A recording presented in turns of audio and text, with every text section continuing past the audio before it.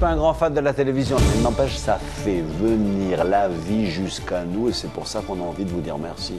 Pour euh, pouvoir répondre et résister à tous les ennemis de la démocratie, nous avons tout autant besoin d'ouvrir des écoles que d'ouvrir des chaînes d'information qui fassent bien leur travail, comme Euronews le fait. Encore plus et encore mieux de confluence, bien sûr, d'influence et d'indépendance. Écully a accueilli Euronews en 1993 et l'a aidé à faire ses premiers pas. Que de chemin parcouru depuis. Ça veut dire que l'idée était euh, originale, authentique, nécessaire. Et j'y suis resté de 1993 à 1999. Je dis à, à Michael et à ses équipes que les entrepreneurs de Lyon sont à ses côtés pour l'aider dans le développement.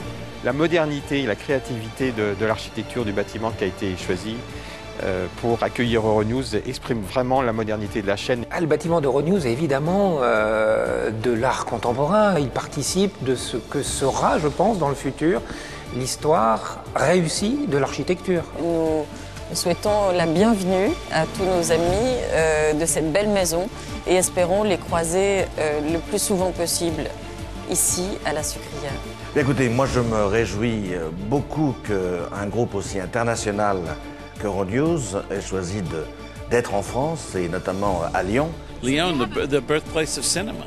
You're here. This is great. Interpol, like uh, Euronews, is a multilingual organization, multicultural organization. Сегодня практически миллиард людей в мире могут посмотреть новости, свешенные правильно, независимо от того, какое гражданство, какого вероисповедания.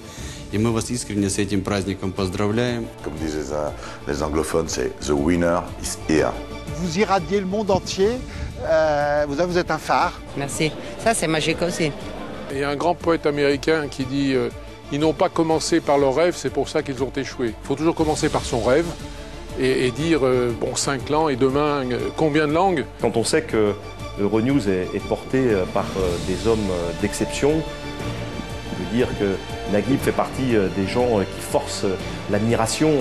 Je me verrais bien associé à cette équipe d'Euronews pour combattre sur tous les terrains d'Europe.